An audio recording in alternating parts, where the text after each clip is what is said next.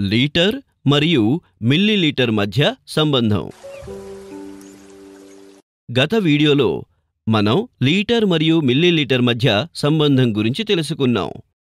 రండి ఈ వీడియోలో మనం వేర్వేరు యూనిట్లను ఉపయోగించి ఒక లీటర్ తయారు చేయడం నేర్చుకుందాం. ఐదు వందల మిల్లీలీటర్లను రెండుసార్లు కలిపితే ఒక లీటర్ వస్తుందని మీకు తెలుసు కదా? అవును శ్రీమాన్.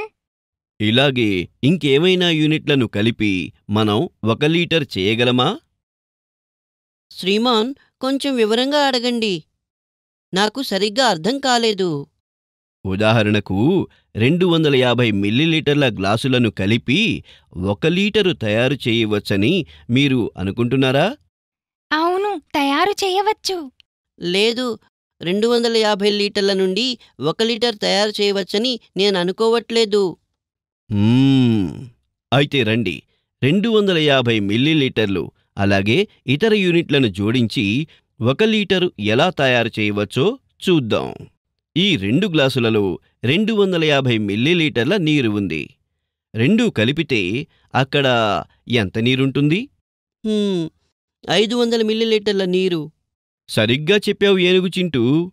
ఒకవేళ మనం రెండు వందల యాభై మిల్లీలీటర్ల నీరు ఉన్న మరో రెండు గ్లాసులను కలిపితే మొత్తం ఎంత నీరుంటుంది?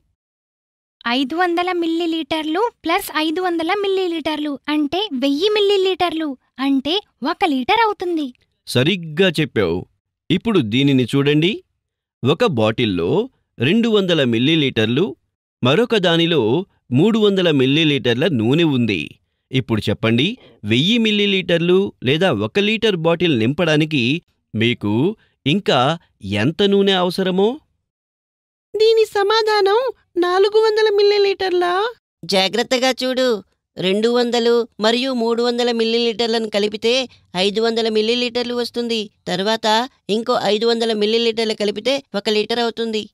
నువ్వు సరిగ్గా సమాధానం చెప్పావు. ఇప్పుడు చెప్పు ఎన్ని వంద మిల్లీలీటర్ల గ్లాసులని కలిపితే ఒక లీటర్ అవుతుంది?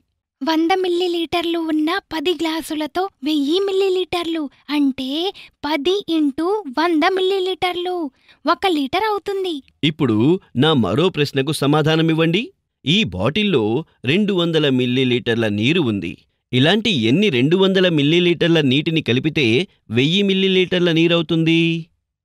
నాకు తెలుసు రెండు వందల మిల్లీలీటర్లను ఐదు సార్లు కలపడం వల్ల వెయ్యి మిల్లీలీటర్లు లేదా ఒక లీటర్ అవుతుందని. కాబట్టి మనం ఈ బాటిల్లో రెండు వందల మిల్లీలీటర్లను ఐదు సార్లు నింపితే ఒక లీటర్ అవుతుంది. భలా ఏనుగు!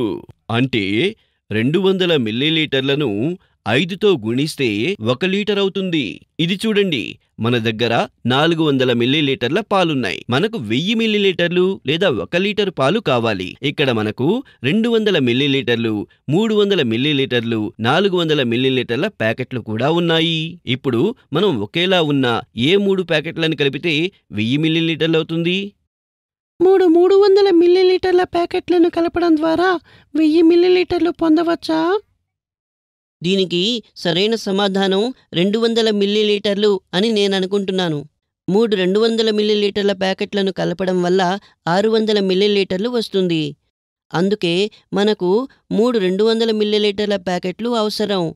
ఆరు వందల మిల్లీలీటర్లని నాలుగు వందల మిల్లీలీటర్లతో కలిపితే ఒక లీటర్ అవుతుంది. సరిగ్గా చెప్పావు. కేవలం ఐదు వందల మిల్లీలీటర్లు మాత్రమే కాదు మరెన్నో యూనిట్లను కలపడం ద్వారా కూడా వెయ్యి మిల్లీలీటర్లు లేదా ఒక లీటరు తయారు చేయవచ్చని మనం చూడవచ్చు. కాబట్టి పిల్లలు ఈరోజు మనం నేర్చుకున్నాం వేరువేరు యూనిట్లను ఉపయోగించి ఒక లీటరును తయారు చేయడం